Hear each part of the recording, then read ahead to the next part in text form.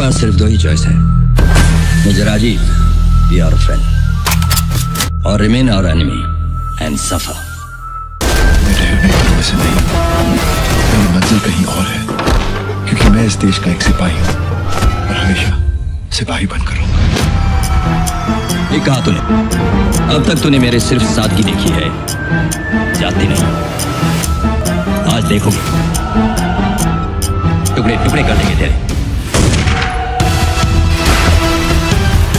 तुमने अभी तक मेरे बाजों की ताकत देखी कहाँ है? हमारी सरजमी पर जो हिंदुस्तान ने जुल्म किया है उसका बदला लेने का वक्त आ गया है। जिसे कौन है वो हाल करो हिंदुस्तानी फौजियों का। कि कोई इनकी लाशें देखने की भी हिम्मत न दिखाए पाकिस्तान जो भाषा समझता है उसी भाषा में पाकिस्तान को समझाने का समय अब आ गया तैयार है जनाब। मेरा उसूल है no F I R no arrest no talk फैसला ऑन द स्पॉट